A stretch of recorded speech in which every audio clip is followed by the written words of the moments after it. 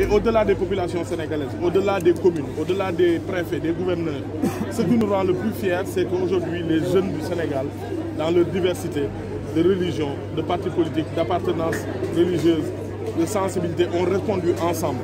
Je dis souvent que la question de la salubrité et de l'hygiène publique est le premier élément du dialogue national.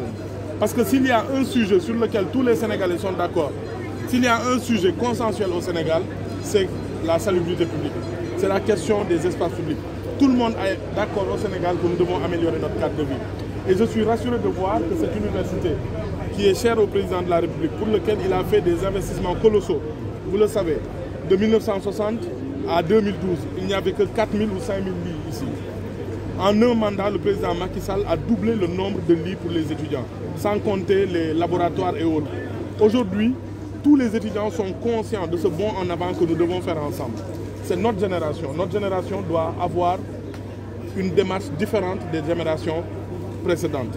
Nous devons avoir conscience des défis qui nous interpellent. Dans deux ans, trois ans, nous allons avoir du pétrole, du gaz.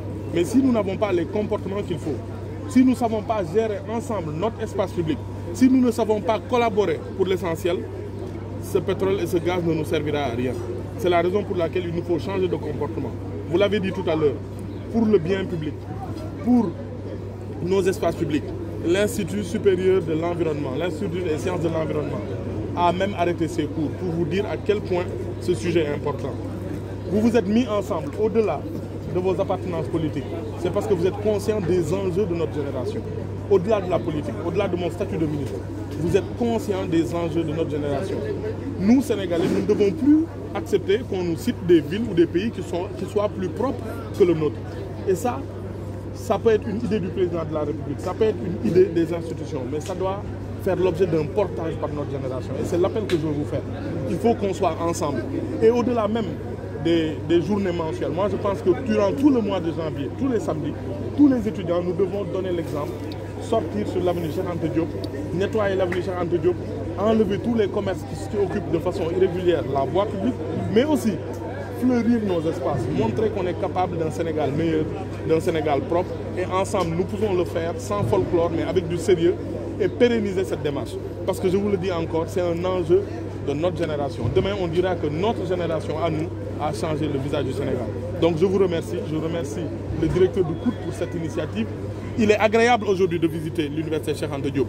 Tous ces bâtiments flambant neufs, tous ces euh, peintures, ces murs, mais tous ces jardins, ces espaces verts qui fleurissent avec toutes ces couleurs, ça me rend fier de la jeunesse sénégalaise et des étudiants du Sénégal. Donc je vous félicite et je vous appelle. Pour tout le Sénégal, ce sera la journée mensuelle. Mais pour nous, moi je suis un habitant, habitué, un habitant du point E.